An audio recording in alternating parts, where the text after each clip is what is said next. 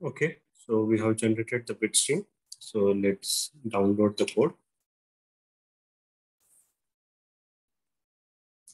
So the code is downloaded. You can see that we have connected the pmod to the uh, pmod keypad to the um, B pmod uh, B port of the Basys 3. And uh, here we have connected the pmod 7 segment display. Now the switch is off. So if I press 9, you can see that on LED you can see 9, but there is no change in the minute switch. If I press 5, you can see that the LEDs are changing, but there is no change in the 7 segment display. Now I'll make the switch equal to 1. Now I press 2, you can see that the corresponding minute is incremented by 2.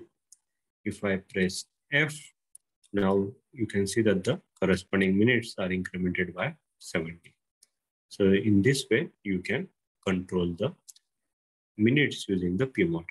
Now, one problem is here that because we in our logic, we are comparing the previous value and current value. If I press F again, you can see that there is no increment in the corresponding uh, value.